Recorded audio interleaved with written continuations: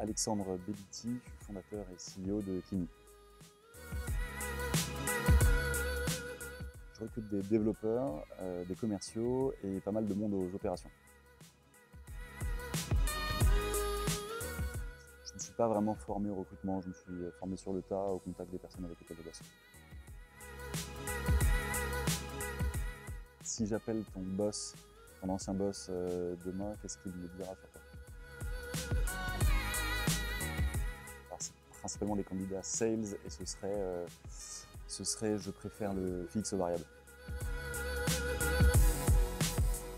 Je me suis déjà trompé sur plusieurs candidats, euh, principalement parce que en tout cas au départ, je mettais euh, vachement d'intérêt à l'intuition personnelle et au feeling, peut-être un peu moins sur les hard skills et du coup de belles erreurs, de beaux gadins, mais quand on fait un ou deux qui coûtent pas mal d'argent, euh, derrière tu évites de reproduire. Et donc maintenant que je suis formé, et, c'est des choses qui arrivent beaucoup moins chez nous.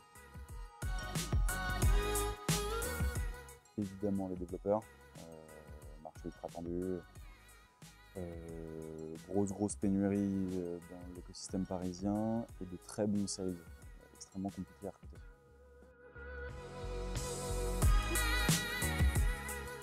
Chasseur spontanément, je préfère miser sur les soft skills, mais j'ai appris évidemment à miser sur les hard.